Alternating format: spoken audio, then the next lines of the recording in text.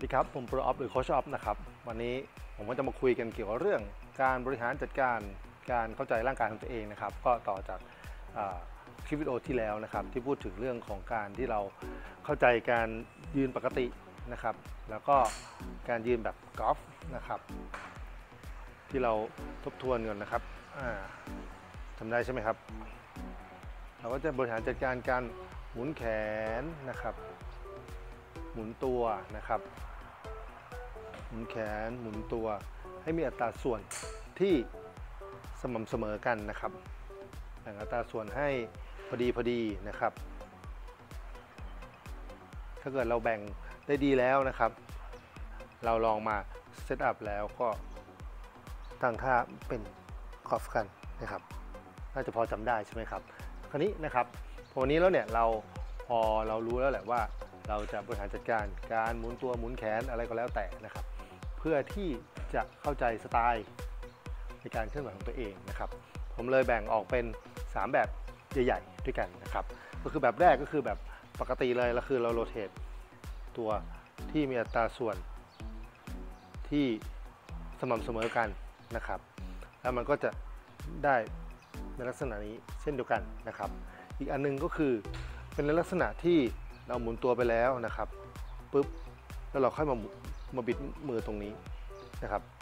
เห็นไหมครับ มันก็จะได้ภาพเดียวกัน ออกมาเป็นลักษณะเดียวกัน อีกลักษณะหนึ่งเราหมุนมือเสร็จแล้วแล้วเราค่อยหมุนตัวฟึบเห็นไหมครับ มันก็จะออกมาเป็นในลักษณะที่เป็นแบบเดียวกัน ซึ่งการหมุนมือก่อนหรือหมุนตัวก่อนนั้นมีความสำคัญตรงไหน มีความสำคัญตรงที่ว่าเราอะครับจะต้องเข้าใจตัวเราก่อนว่าเราเป็นสไตล์แบบไหน พอเรารู้แล้วนะครับ เราเลย ต้องมาดูซิว่าจุดที่เราต้องการน่ะในการฮาร์ s สวิงนะครับมือเราอยู่แบบไหนนะครับบางคนก็อยู่แบบนี้ก็มีก็เป็นอย่างระดับทัวร์โปรหลายคนที่เป็นเอสวิงนะครับที่เป็นมุมเฉียงด้านก้านด้านนี้นะครับบางคนก็จะเป็นตามของแนวก้านขึ้นไปเลยนะครับหรือว่าเป็นออกแนวชันนิดนึง เอาง่ายๆว่าให้เรารู้ว่าฮาร์ s สวิงเราตรงนี้เรามาเซตอยู่ตรงไหนนะครับแล้วเราสามารถที่จะจัดการของร่างกายของเราตัวเองนะครับ ด้วยการอะไรก็แล้วแต่จะไม่บิดมือจะบิดตัวเราค่อยมาบิดมือณตำแหน่งนั้นๆ หรือเราบิดมือก่อนเราค่อยมาบิดตัวณตำแหน่งนั้นๆ มันก็จะออกมาอยู่ในภาพที่เป็นภาพเดียวกันถูกไหมครับฉะนั้นเนี่ยสิ่งที่ผมอยากจะสื่อสารในวันนี้นะครับ มันก็เป็นสิ่งที่เราสามารถที่จะเอาไปไปปรับปรุงเอาไปปรับใช้ได้ว่าให้เราสังเกตร่างกายของเราเนี่ยเราชอบแบบไหนทำแบบไหน เพื่อจุดเริ่มต้น ไปถึงจุดนั้นๆเนี่ยอยากให้ร่างกายเป็นอย่างไรนะครับ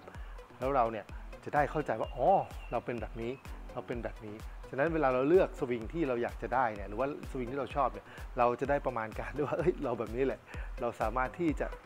ทำสวิงนั้นๆ ได้หรือเปล่าอย่างเช่น ชอบโปรท่าน A ท่าน B ท่าน C ท่าน D ถึงท่าน Z ก็แล้วแต่นะครับแต่ละคนมีจุดดีและจุดด้อย